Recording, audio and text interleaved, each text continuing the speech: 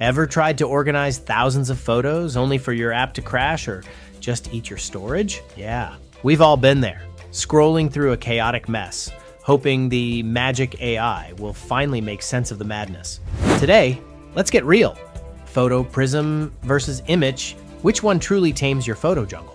Here's the honest rundown. PhotoPrism is the OG self-hosted photo powerhouse. You want AI tagging, powerful search, facial recognition, and privacy? You got it. It runs on your server, Docker, Pi, whatever, supports loads of raw image formats, and gives you total control. But reviewers on Reddit and YouTube warn its AI labeling is good, but not perfect, and a big library can slow things down unless you have strong hardware. The learning curve? A little steep, but you gain advanced tools and flexibility.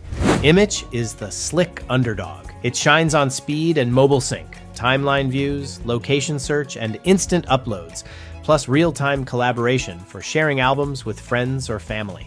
Users love the easy setup and polished apps for iOS and Android, but admit occasional bugs, slowdowns, especially with huge libraries, and less feature depth compared to PhotoPrism. Privacy is solid and updates roll out fast, but it's not as mature or robust for pro users. Check this quick comparison. Want control and features? Go PhotoPrism. Need speed and simplicity?